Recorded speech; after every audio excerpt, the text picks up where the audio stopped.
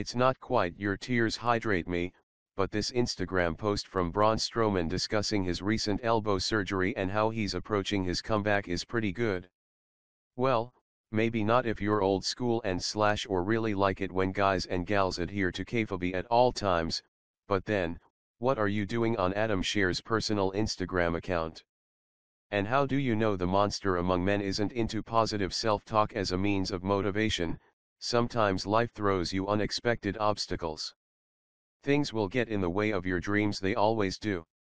How you handle your setbacks is what makes the difference. I could sit around and think what could I have done to avoid this what did I do to deserve this. There's no time for excuses and pity parties. Every day is a day I get the opportunity to grow stronger every day I push myself further cause I refuse to let this slow me down. Nothing can stop me from being the best. I'll blow through this like I have every setback life has ever throw at me and continue to own my destiny. This is my life and I tell what and when I'm gonna do things.